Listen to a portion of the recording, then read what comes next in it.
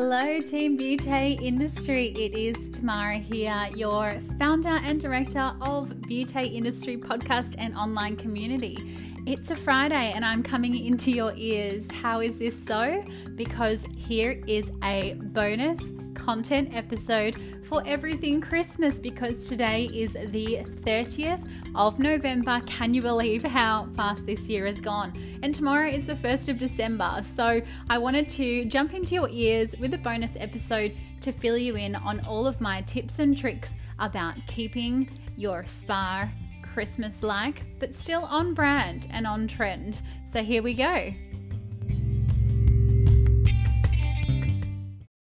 Okay, so first thing is first, you have to think about your space. So, if you are in a day spa, obviously turn around and have a look at what kind of colors and what kind of aesthetic you're trying to in terms of your brand and what that looks like. So, you've probably got lots of natural woods, you've got um, kind of grey colours, perhaps you've got more organic timbers and um, perhaps green colours around your spa. So, when you are decorating this space, you can have the luxury of having a beautiful green tree with some green tinsel, for example. Um, you might like to use something even further than that and have something like a wooden plank tree, something that's really on trend, like some wooden hanging stars, and keep your spa or your space with that down to earth feel.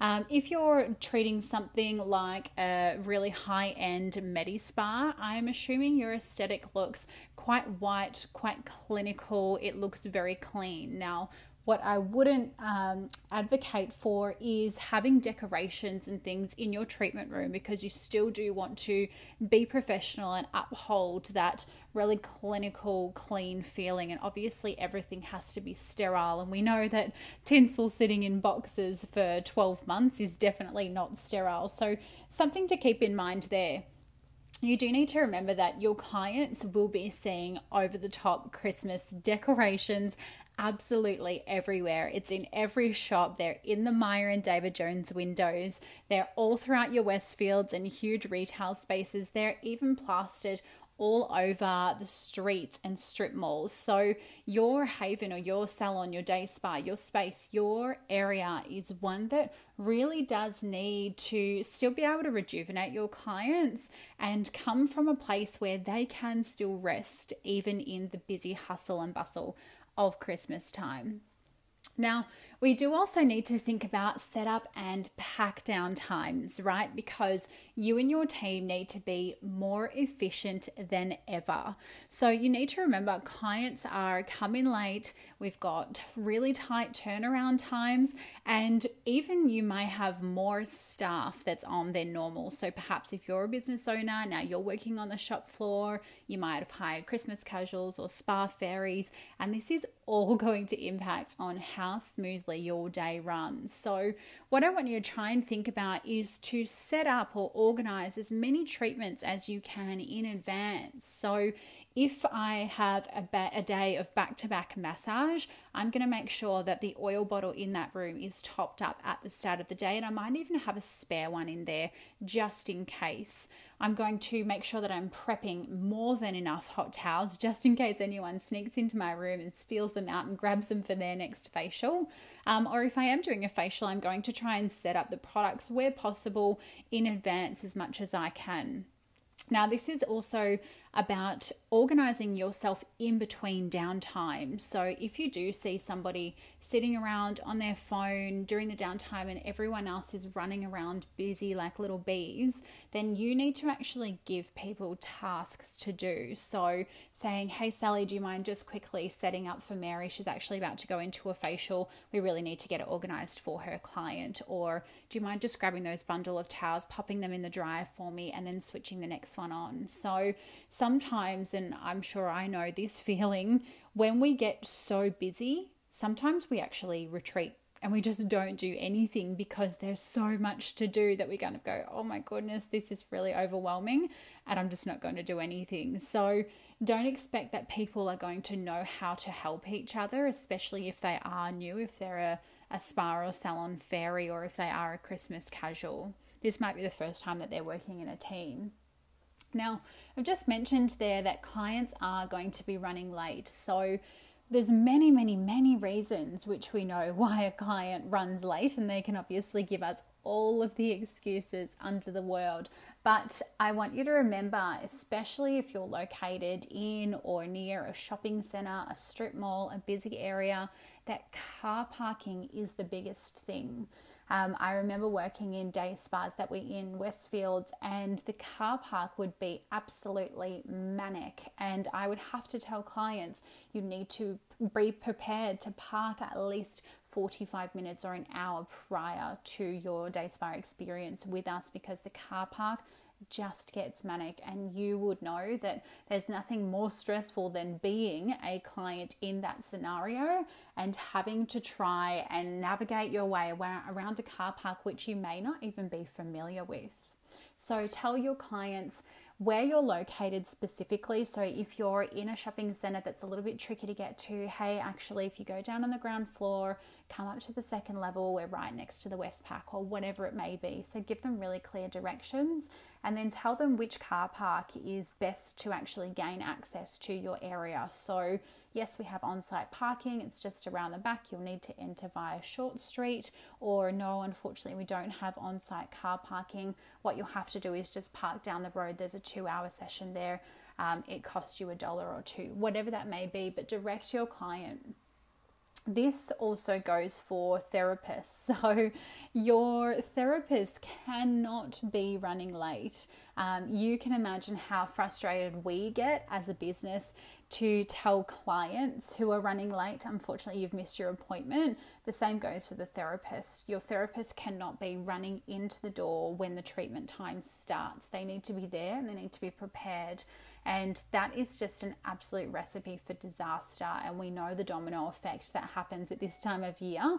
Once your clients start to get just back to back and they start to have that kind of flow on effect of running into the next one, running into the next one, that's when your therapist, after working a 10 or 12 hour day, are staying an extra 45 to 75 minutes afterwards because they need to finish their treatment. And at the end of the day, we know that the business owners then are also staying that extra amount of time because they're needing to do the till and check the client out. So, Client, uh, client car parking and also therapist car parking is a massive, massive one at this time of year. Now, huge one that I will touch base on is gift vouchers, gift vouchers, and all of the gift vouchers, and also the gifts. So, your team need to be briefed on every single Christmas gift that you offer, whether that's a $25 candle, whether that's a $10 lip balm or hand cream travel size that you have, they need to be across absolutely everything so that they can start to have those client conversations in the treatment room.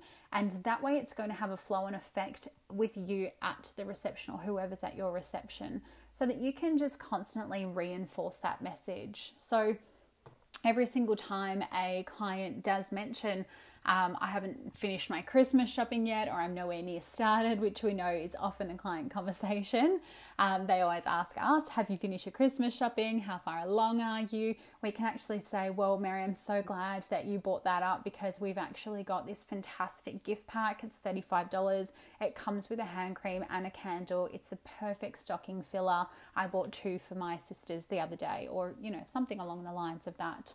Um, when your therapists know what the gifts are, what the gift vouchers are, what the promotions are, and if they have that excitement around them, that's actually the perfect way to start to get that client to be enticed. Better yet, what I would actually do is take it a step further. I know lots of product houses actually do gift with purchases and little Christmas gift packs and things, and normally they do include a top seller so I was listening to um, salon marketing coach the other day, Vanessa, and she was saying that what you should actually do is, for example, if one of those gift packs has a top cleanser that your clients might like to use or a top hand cream, what you would actually do is pull your top 50 clients from that list. You would give them a call and say, Hey, Mary, I know that you really love this cleanser, you really love this hand cream, just so um, you're aware, we actually have the perfect little Christmas gift for you and your family and your friends. It includes a cleanser, um, an exfoliant, and also a moisturizer, but you get a complimentary facial cleansing brush and this gorgeous um, toiletries bag, all for the price of X, Y, and Z, or whatever that may be um, that is going to start to create kind of exclusivity. The client feels a little bit happy and almost just really honored that you've given them a call, you've let them know before anyone else because you're making it feel that way and you're making it feel really special. Um, and I just really loved that kind of little um, salon marketing coach from Vanessa. It was really fantastic when I watched her live the other day. What you need to be doing if you're sitting at reception is reinforcing everything that the therapist has said in the treatment room. So, um, as soon as your client comes out, obviously, we always ask, How was your treatment today? Did you enjoy your service? Whatever that be massage, facial, wax, laser, whatever you're doing. Um, and you could say something like, Mary, I'm so glad that you enjoyed your treatment today. Um, remember that you can spread that feeling far and wide with a gift voucher from us, um, which is, of course, the perfect time now, valid for 12 months and of definitely servicing all um, genders there, all ages. So you can, you know, choose a gift voucher of your choice, or we can actually just write a dollar amount on there for you. And so that way it starts to get people thinking Sometimes people just like to do a dollar amount for a Christmas Kringle, Kris Kringle, KK, um, you know, of $15 or $20, whatever that may be, as long as your girls are coming back in with that gift voucher and they're upgrading, they're adding on, they're upselling, they know how to do all the work to increase the revenue once you've got that small gift voucher. But it's about you actually driving that sale and driving that force to let everyone and anyone know that you do have that gift voucher available and all of those gifts. Um, Christmas trading hours are a huge one as well. I know lots and lots and lots of clients call up and they'll ask you, um, do you have extended trading hours? What are they? Who's working them? Is my favorite therapist on? What times do you close? Are you open the same times as the shopping centers? Like lots and lots of questions around trading hours. Um, even sometimes I walk into clinics now and therapists ask me, Do we have extended trading hours? And I'm like, I have no idea. you need to know that.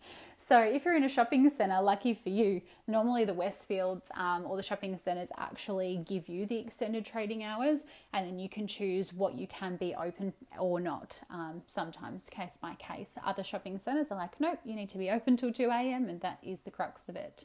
Um, if you're a sole owner, um, sole trader in your clinic, day spa, salon, whatever you've got, then you need to create these. Um, what I do want to keep in your front of mind is that if you are working crazy hours up until the 2, 3 a.m.s or you're working the 24 hour round the clocks and you're in more of a retail space, um, just think about what time your staff member is finishing that shift and then what time they are starting the next.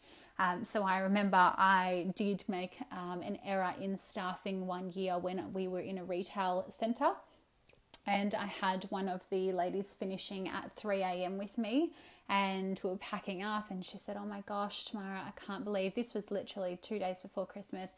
And she said, I can't believe you've rostered me on to be here tomorrow morning at 8 a.m. And this was at 3 a.m. And I thought, what do you mean? No, you're not working. Um, obviously, you know, there's so many things going on in your mind. I had three sites at this stage, people everywhere, staff everywhere, clients everywhere. And I said, You're not working at 8 a.m. And she said, Yeah, I am. Have a look in shortcuts. And I had a look and I thought, Oh my goodness. And I said, No, Dal, you cannot work you can't, can't, you can't come to work that morning no. So um, i came in and i worked and i had the four hours sleep but in accordance to fair work obviously that is not a fair shift and that is not fair work. So just making sure even i think i'm the most diligent person and go through the roster and um, staffing hours so so scrupulously with a fine-tooth comb but sometimes you just do make those errors. So i believe um, well it was probably five years ago that i was in a retail hour space now, but it was um, a 10 hour gap that may have changed um, from one shift to another. But make sure you plaster your trading hours on absolutely everything. So I'd be taking a look at things like your Facebook, announcing it on Instagram, um, updating it on your Google My Business if you have that option, and just plastering it across every single platform you've got so that clients know when you are and when you aren't open there's nothing worse than a client coming in and um, coming to the door to buy a gift voucher and your door's closed because you finished early or because um, you decided to have an early knockoff or whatever that may be. Another tip of mine is a funny one, but it's to be festive. Um, so, we do need to remember that even though this is our busiest time of the year, um, we don't need to show that to the clients, you know. And I know clients always say, oh my gosh, you guys must be so busy. Uh, but we need to stop telling clients, oh my goodness, we're so busy, Mary. You wouldn't believe how crazy we are today. We're back to back. I haven't had a lunch break. I'm exhausted. I've got to come in and do it all again tomorrow you know, sometimes we can turn into a little bit of a Grinch ourselves. So we need to remember that this is a really exciting time of the year. And I know when we're down there, and I call it the trenches because sometimes you feel like you just don't get up for a breath of air. But sometimes when we are down there in the trenches, it's difficult to see what's going on around us, you know. So your client is probably extremely busy as well. But the minute that we say, oh, we're so busy, as a client, that feels like, oh, okay, well, you must be too busy for me. So, especially if I'm sitting there in the waiting area or the lounge or whatever kind of area you've got, and you put clients to fill out the consultation form, I can tell already the kind of vibe and what kind of service I'm going to be getting just by sitting in that lounge or waiting area. If I see five or six therapists running around like crazy chickens without their heads, then I think, great, my service is going to be rushed. If I'm sitting there and I'm actually, you know, I'm waiting and I'm waiting and I'm waiting, and somebody pops their head over the desk, doesn't even have the audacity to come around to me while I'm waiting there, and they say, Oh, Tamara we'll just be a minute, hun. We're just really busy today. It just really shows me that you don't have time to perform a great treatment for me and that you're really not kind of immersed in that Christmas spirit. So just take a think of that when you are um, running around being crazy. Just try and be festive at the same time. Um, and then we need to be healthy. We need to be ha- happy and healthy at the same time. So, I have been guilty of this um, in previous roles. I have come in and I have stocked the back room or the kitchen or the staff room, whatever you call it, with Tim Tams and chips and lollies and the rest of it, and cakes and, you know, Baker's Delight treats. Um, but we need to remember that obviously now, nowadays, you know, we know so much more about sugar and um, the effect that that has on our mood. But it's a real kind of spike in that glucose, and we get this huge energy. And then our therapists rush through this consultation because they're just bursting with energy. It's almost like having a coffee hit. And then halfway through the facial or the massage, they're actually starting to fall asleep themselves because our energy has just plummeted through the ground. So instead, what I would advise, and obviously it's not as fun, but it's certainly going to give you that lasting energy, is something like, um, you know, fruit platters, um, perhaps wraps if you have your local cafe, nice salad wraps with some ham or chicken. Um, even a sushi tray, you know, from your nearest kind of Japanese shop or whatever you may have. And that's definitely going to help your staff and your team feel a lot longer lasting energy and help them finishing feel gosh words help them feeling less grinchy in no time another one i do want you um, to be quite mindful of is your presentation at this time. So, coming back to kind of having that crazy time between shifts and that time between turnaround. Yes, you are probably working longer hours because the trade is longer, but you always, always, always, and I've said this in, I think it was the second or third episode that I've ever done um, on the podcast about being presentable for your client, whether that's your first client or your last client. And this is even more impressive at Christmas because people are having a treatment with you, and then from that experience, they are actually thinking, should I purchase a gift voucher or gift from this business to give somebody else? So, what does my therapist look like today? Does she have perfect presentation? What does the space look like today? Is it clean or are the wax pots dirty? Is the teapot replenished or is there a stale old tea bag in there from 9 a.m. this morning? Are the tea lights replenished? So, not only your therapist need to be looking immaculate at all times, but at the same time, your space needs to be immaculate. So, having a look and a little checkpoint in, perhaps um, halfway through the day, maybe after staff have come back from lunch, and having a little mirror in your staff room and just saying, Do you look Christmas ready? or, you know, something like that. Do you look festive? Um, and that would be a tidy up of a hair. Maybe everyone's wearing a red lip during Christmas. Um, maybe you do have everyone wearing fun little Christmas earrings or a bit of tinsel in their hair, whatever it may be, but making sure that you still look on brand, professional, and you are a therapist, and then the Christmas stuff comes second um, with terms of decorating in the hair and things like that. Uh, but making sure that that presentation of every single therapist and every single space in your clinic, day spa, salon, whatever you have, looks gorgeous. So that is it from me. They are my little Christmas tips. Um, what I would love you to share is if you have any of your own Christmas tips. Um, I did put a post similar to this in our closed group, the Beauty Industry Facebook group. So I'd love for you to come on in there and join. You just need to tell us how you are related to the beauty industry and then we will accept you. But if you have anything else that you would love to share Christmas wise about what you believe looks like a really great team or is going to help people cross the line in terms of getting those retail numbers on the board or a little few more gift voucher sales through their tills that would be fantastic. Um, feel free to touch base with your team as well and have a little meeting around this. And this is why I've done this on the Friday as a bonus episode for you so that you can be absolutely prepared as you go into the Christmas season and into that December kind of Christmas period. So, I am wishing you all the success in this busy period. We have um, had so much fun this year, and this is cheers to another thankful and supportive and community driven year with beauty industry.